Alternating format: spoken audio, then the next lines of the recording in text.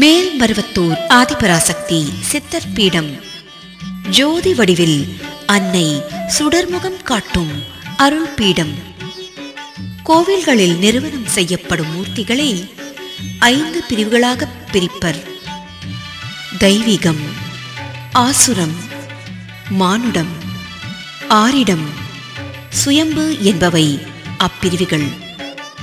இதில் சுயம்பு என்பது தெய்வம் தானாகவே தோன்றுவது. ஆம் யாராலும் நிறுவப்படாமல் தெய்வம் தனக்குத்தானே தன்னை நிறுவிக்கொள்வதே சுயம்பு. இது எப்படி முடியும்? ஆம் முடியும் என நம்புவோருக்கு எல்லாம் முடியும் செயலாகத் தெரியும். முடியாதவனுக்கு எதுவுமே முடியாது. தீயுள் நீரும் தெரியும் நீருள் தீயும் தெரியும் நம்புபவனுக்கு. தொடுகின்றான் என நினைப்பவனுக்குத்தான் தொடு உணர்ச்சி புரியும். தன்னை அறிந்த ஞானிக்கு இறைவன் ஜோதி வடிவில் காட்சி தருவான். அந்த அற்புத ஜோதியே மின்னலாய் ஒழுகி மண்ணுக்குள் சுயம்புவாக உருவாக்கப்படும் என்பது சமயப் பெரியவர்களின் கருத்து. இறைவனை ஜோதியாய் காண்பவர்கள் தன் புலன்களையும் ஆன்மாவையும் ஜோதியில் கரைத்துக் கொள்வார்கள். அப்படி ஆன்மாவை ஈர்த்துக் கொள்ளும் ஜோதியே சுயம்புவாக அமைவதால்தான் சுயம்புவுக்கு ஈர்ப்பு சக்தி உள்ளது. மருவத்தூர் அன்னை ஆதிபராசக்தி சுயம்புவாக இரண்டாயிரம் ஆண்டுகளுக்கு முன்பே குடிகொண்டவள். யுகம் புகழும் அன்னை ஆதிபராசக்தி சுயம்புவாக முகம் காட்டி வருகின்றாள். புற்றில் பாம்பாகவும் வேம்பில் பாலாகவும் வெளிச்சமிட்ட சுயம்பாகவும் திகழும் தாயே உன்னைச் சுற்றியே திகழ்கிறது இந்த பூமி. தாயே உன் சுந்தர திருமுகம் சுயம்பாய் எழுந்தது. சுடர்விடும் ஒளிமுகம் சுயம்பாய் எழுந்தது. மந்திரச் சொல்முகம் சுயம்பாய் எழுந்தது. மனம் தரும் ஆன்மீகம் சுயம்பாய் எழுந்தது. சிந்தனை சீர்முகம். சுயம்பாய் எழுந்தது. செந்தேன் அருள்முகம். சுயம்பாய் எழுந்தது. அன்னை முகமே அற்புத சுயம்பு. ஆதிபரா சக்தியே அருள்மிகு சுயம்பு.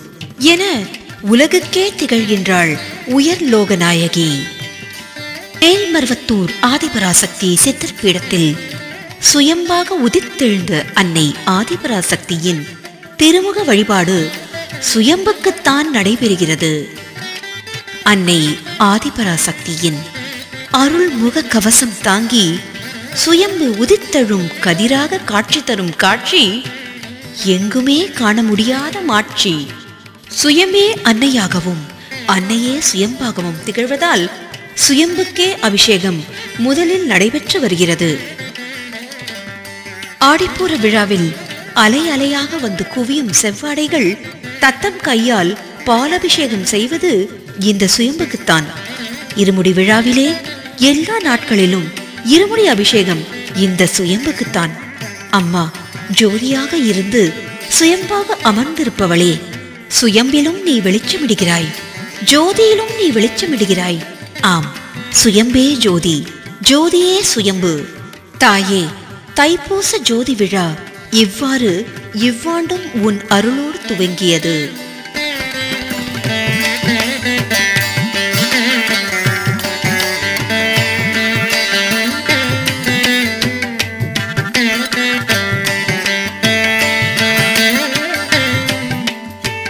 நீர் மாசுபடுகிறது. நிலம் மாசுபடுகிறது. காற்று மாசுபடுகிறது. ஊர் மாசுபடுகிறது. உலகு மாசுபடுகிறது. மனிதன் உள்ளமும் மாசுபடுகிறது விழிக்கும் பார்வையால் மொழியும் வார்த்தையால் நினைக்கும் மனத்தால் நாம் மாசுபடுகின்றோம். கோபம் கண்மம் வன்மம் காமம் குரோதம் இவைகள் மனிதன் மாசுபடும் போது அணிகலன்கள் ஆகிவிடுகின்றன.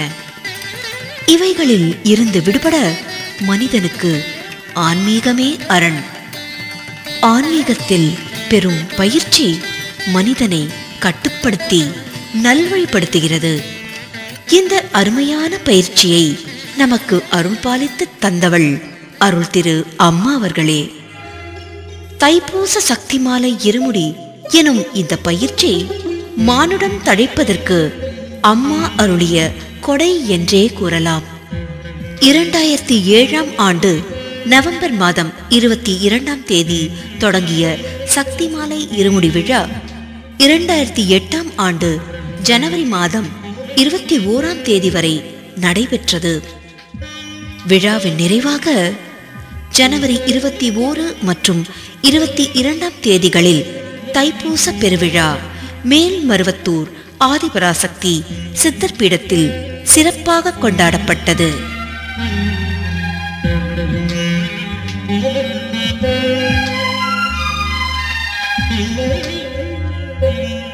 Mm-hmm.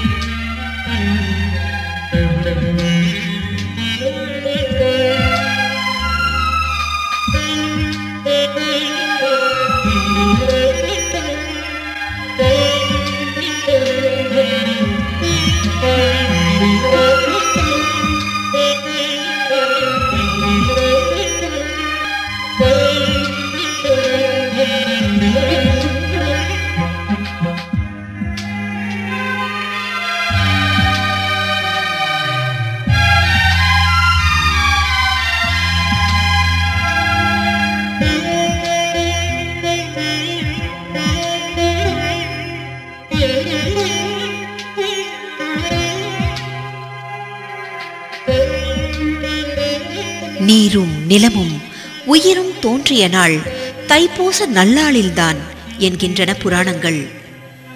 பராசக்தி தாமிரபரணியில் நீராடி தவமிருந்த நாள் தைப்பூச நாள்தான். ஸ்ரீ ரங்கநாதன் தன் தங்கை சமயபுரத்தாளுக்கு சீர்வரிசை நல்கும் நாளும் தைப்பூச நன்னாளே. முருகப்பெருமானின் திருத்தலங்கள் அனைத்திலும் உருகிப் பாயும் பணியாக பக்தி ஈரம் சொட்டுவதும் இத்தைப்பூச நாளில்தான் பாம்பு கடித்து இறந்த சாம்பலான பூம்பாவை அஸ்தி கலசத்திலிருந்து உயிர் பெற்று பூவையாய் எழுந்தருளச் செய்தாரே ஞானசம்பந்தர். அதுவும் தைப்பூச நாள்தான் சிவபெருமானின் திருநடனம் சிதம்பரத்தில் நடந்ததும் தைப்பூச நாள்தான் இத்தகைய சிறப்புக்குரிய தைப்பூச திருவிழா மேன்மருவத்தூரில் சிறப்பாக நடைபெறுகிறது. தைப்பூச ஜோதியை அருள் திரு அம்மா தன் அருட்கரங்களால் ஏற்றி அகிலம் ஒளிரச் செய்யும் அற்புத நிகழ்ச்சி இங்கு நடைபெறுவதும்